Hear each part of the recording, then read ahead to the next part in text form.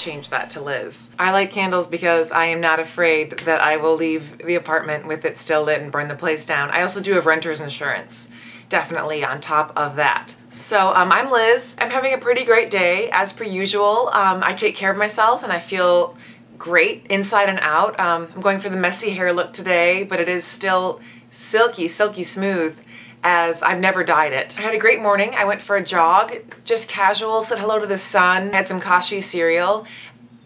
The one bowl, um, not the whole box.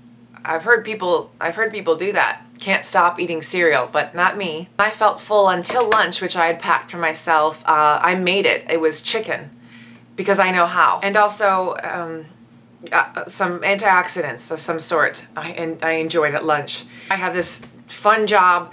Uh, I have insurance, and I also I, I know how to make an invoice, and I understand Excel. I did not take an afternoon nap because I, I don't need to, and I am at work too, so I I am working. I had fun with my coworkers too. I love them, and I get along with them uh, because I'm a nice person and we have a fun time. No, no weird sexual stuff with any of them. It's all friends, except for no, it's all friends. I don't have kids, but I do feel like I'll be ready for them soon, and like my body can have them. I do feel like I, I can do that. I also have a husband, and he also has a has a job, and we have two sinks in our bathroom, and we have a bathtub. We have a bathtub, and we have a fireplace you. Usually when I need to get a hold of someone, I call them.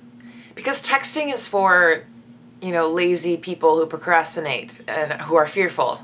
So that just doesn't get the job done efficiently. So I like to just pick up the phone and call people. I think later tonight I'll read some of my book. Oh, and I'm going to get a manicure because I know how to budget my time and my money. I also understand stocks and those things. I just bought some IPO of Twitter and I, I know what that means. Someday I'm going to take a sick day and I'm going to just stay home and browse the internet all day and just see what that feels like once I went to a movie, and I did not realize it until too late, but I had a piece of dark chocolate in my purse they didn't even catch it. And I felt so bad that I brought that in that I went to the candy counter and bought a box of Junior Mints. I didn't mean to sneak candy in. I had a few pieces and put it away. You're just sitting watching a movie. You don't need to eat a lot of junk food. I've never Googled myself. That would be interesting. Well, no, I don't even, I don't even care. Let's not do it. No. One of my secret skills is Trivial Pursuit. I win all the time. I just remember the things I've learned you know, in life. I know, you know, like what an asteroid is and how it's made and whether it's good or bad. I love horseback riding. I'm always 15 minutes early. So I'm Liz. I've never done this before, um, just, you know, talking about myself. Uh, so yeah, I hope you enjoyed it. And uh, I, I, God loves you.